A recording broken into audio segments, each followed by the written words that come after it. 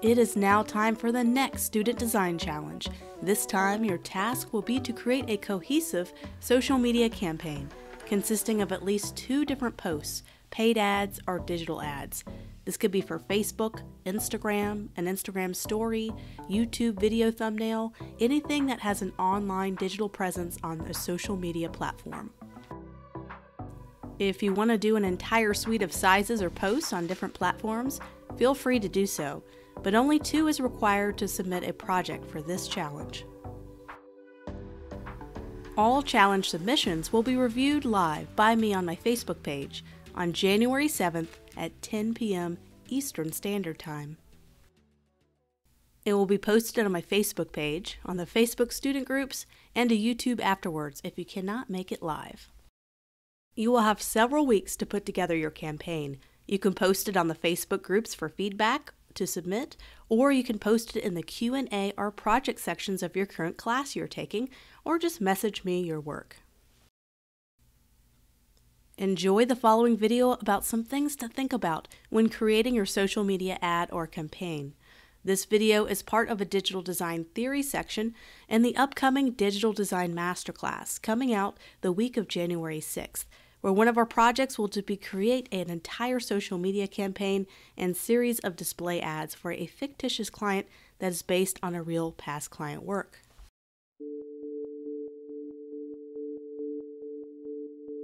What goes into designing an image for use on social media? What are things that are known to be effective in drawing those eyeballs to our content?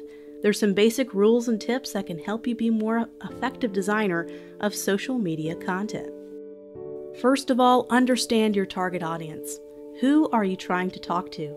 Try to understand the target audience by studying demographic information or getting that information for whoever you're working for. Will your poster ad be displayed to more women than men? Are you targeting those in a younger demographic? That might shape and mold how you approach the design. An older demographic might need a more conservative design approach, while a younger audience might connect more with something bolder and show stopping.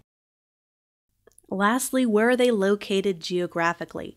Those in the United States might connect more with a certain design than someone from South America or Asia. Perhaps using photos that best represent the target audience more might help in this connection with your ad. Be authentic, and it seems obvious, but being authentic is easier said than done, especially in working with clients doing paid advertising. Clients want to push products, deals, and services but we need to find ways to create a design that will make these seem less like your standard offers we see every single day and they make them more compelling to our target audience.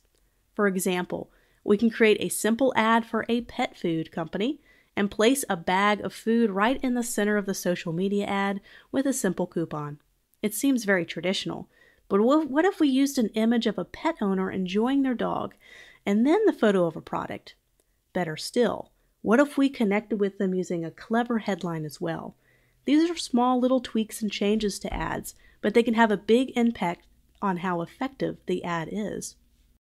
Use contrast well. And we talk about contrast in almost every lesson of this class.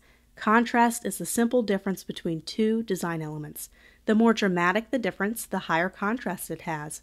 We can use contrast effectively as designers to draw the user's eyes into the most important part of the ad, usually the call to action or that buy now, swipe up for more button or area. And we can also use contrast with our type by highlighting one word in our headline to bring out a more favorable word that helps to push people toward our main goal for the ad. For example, this ad that uses contrast to bring this word in the headline to draw the user into the overall concept of the ad. Contrast can be easily overused. Too many elements that differ dramatically can cause an ad to look busy, outdated, and very hard to look at. Contrast is best used sparingly and with a purpose. Use photos that connect with the viewer. This goes back to being authentic as well. The photos we choose can have huge impacts on drawing the viewers in, and this is true for traditional print ads as well. Take, for instance, this ad for a gym. We can use the standard photo that is easily glanced over, or we can use a higher impact image to draw those viewers in and stop, even just for one second, to take an extra look at the photo and the ad. Full color photos tend to draw users in more than black and white. Remember, in social media, you have the least time available to draw people into your post or ad, the least amount of any other advertising platform. Think about how fast you scroll through your Instagram feed. Not a lot of time, is it? Photos are the first thing people see, and they start to read the text next. Use this to your advantage. How you crop your image is huge as well. We can make things look ordinary or dramatic simply by cropping it in the most compelling ways. In this example of the girl in an exotic location, cropping it this way, it, looks nice, but crop this way, it seems almost magical and inspiring. Feel free to edit your photos as well to add pops of color.